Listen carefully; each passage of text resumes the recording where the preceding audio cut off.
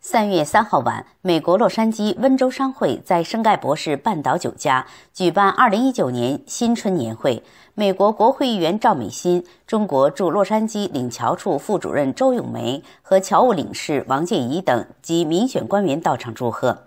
会长刘林春表示，新的一年要不忘温商创业初心，打造温州商会的品牌。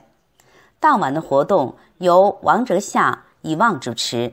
刘林春会长做年度报告，赵美心、周咏梅以及与会嘉宾，美国华人社团联合会总会会长李社潮，美国华人社团大联盟主席林干花，亚凯迪亚市市长戴守贞，圣盖博士市议员廖清和，核桃市市议员秦振国，洛杉矶社区学院理事会前理事吴国庆和加州众员周本利的代表罗亨利等先后登台致辞。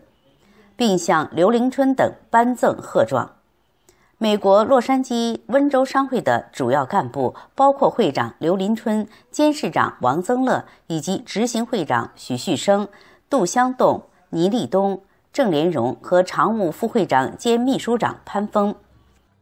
美国洛杉矶温州商会荣誉会长林选栋一起共同登台举杯，祝愿乡亲们新春快乐，并表达对新一年的希望和决心。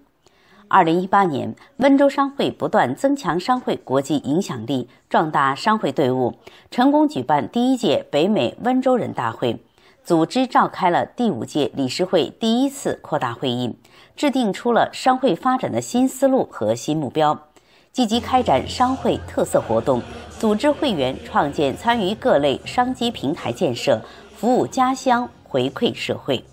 美国洛杉矶温州商会想做一个全新的品牌商会，呃，尽力我们，尤其是在美国，我们要发扬温州精神，传承下去。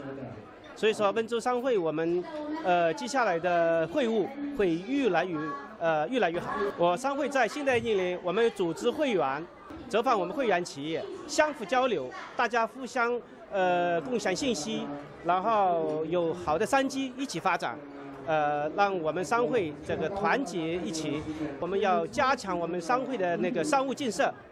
呃，包括我们要呃扩大会员，呃，包括我们还有一些呃商务活动。华夏电视台记者盛盖博士采访报道。